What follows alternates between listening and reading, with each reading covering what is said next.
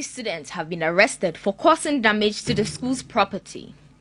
About four government vehicles, including a Mahindra, an Isuzu pickup truck, and a Nissan Patrol, were vandalized. The students also attempted to break into some bungalows and damage some parts of the building. An application for bail by counsel for the accused was turned down by the court following opposition from the prosecution. The prosecutor, ACP Kofi Blagweji, told the court investigations are still ongoing and admitting the accused students to bail might interfere their work.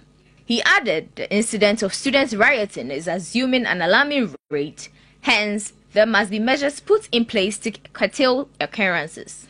The presiding judge, Samuel Boabin Kwanzaa, obliged and remanded the 39 accused students into police custody for two weeks.